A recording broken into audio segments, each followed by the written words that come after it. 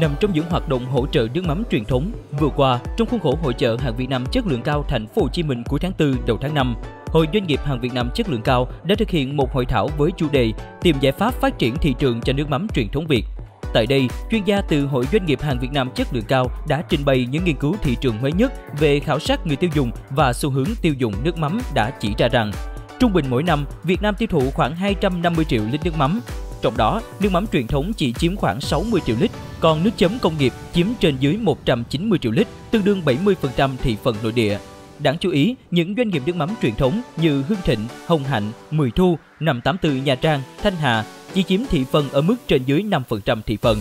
Từ đây, các chuyên gia đã đưa ra những góc nhìn, cách tiếp cận nhằm tìm cách đưa nước mắm truyền thống có thêm thị phần, thị trường ở các kênh truyền thống hay kênh hiện đại.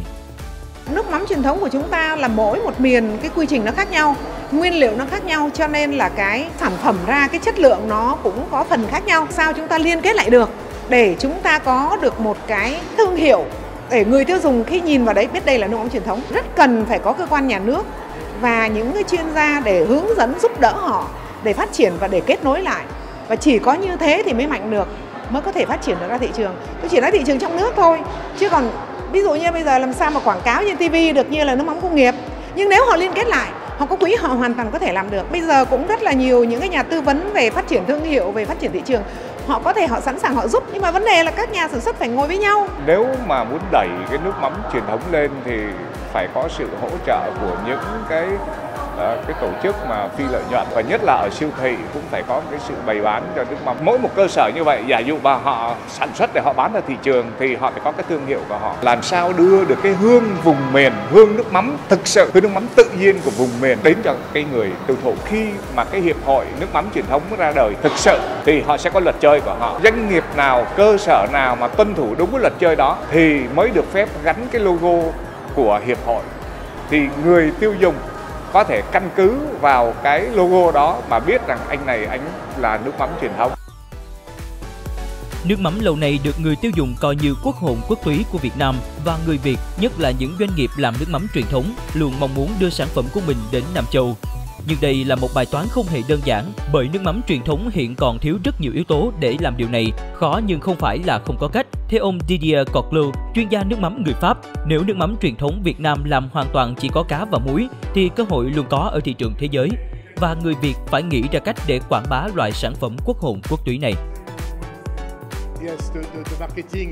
Thứ nhất là đối với lại cái uh, quảng bá về marketing của sản phẩm chúng ta phải chú trọng nhiều hơn đến cái hình thức và những cái kiểu dáng ở bên ngoài. Ví dụ như là cái cách đóng chai hay là cái bao bì của chúng ta nó phải thật là bắt mắt và trên những cái bao bì đó nó phải thể hiện được là cái số năm uh, mà nước mắm này sản xuất như thế nào. Tại vì đối với lại khách hàng phương Tây cái số năm của một cái loại thực phẩm đồ uống ví dụ như các loại rượu chẳng hạn rất là quan trọng. Thứ hai là chúng ta có thể tận dụng những cái kênh bán hàng hiện đại ngày nay như là sử dụng các mạng xã hội hoặc là internet bằng những cái công cụ hiện đại này thì mình có thể hướng tới một cái thị trường gồm những người tiêu dùng rất trẻ. Cái cơm của Việt Nam là tốt không đâu sánh bằng.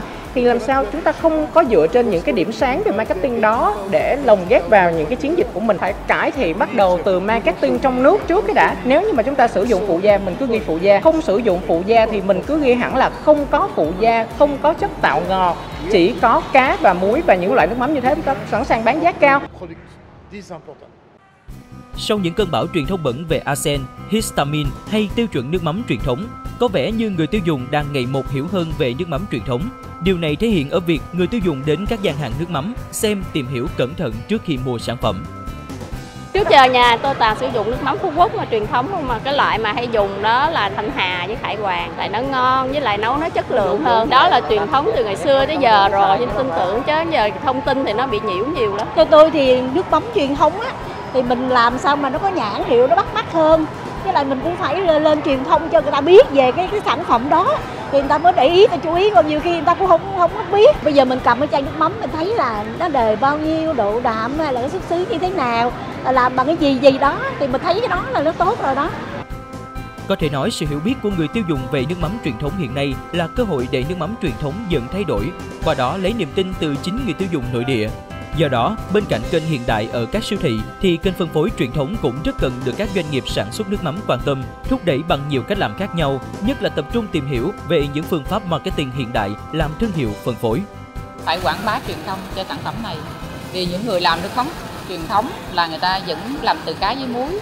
Và từ trước tới giờ sản phẩm này không bán được đến tay người tiêu dùng là vì do cái kênh truyền thông mình còn yếu. Cho nên người tiêu dùng người ta chưa biết được hội chợ này là một cái điểm kết nối để cho tiếp cận được các tiểu thương và các siêu thị để hàng nước mắm truyền thống của Phú Quốc cũng như Khai Hoàng đến những cái điểm đầu mối này bán. Người tiêu dùng, người ta rất là quan tâm về cái sản phẩm ờ, nước mắm truyền thống.